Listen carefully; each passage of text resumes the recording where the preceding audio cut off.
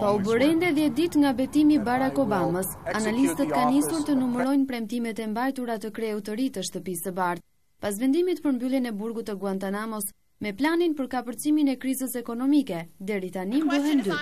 Mbrëmjen e djeshme Dhoma e Përfaqësuesve në Kongresin Amerikan ka miratuar pakon prej 819 miliard dollarësh me një ndryshim të vogël nga shifra e propozuar, tetëqind e njëzet e pesë miliardë dollarë. Dokumenti kaloi pa asnjë hezitim në duart e dyqind e dyzet e një anëtarëve demokratë, kundrejt njëqind e tetëdhjetë e nëntë votave kundër të demokratëve dhe republikanëve, të cilët e shohin planin si tepër të shtrenjtë dhe pa shpresë për të qenë zgjidhja e krizës ekonomike.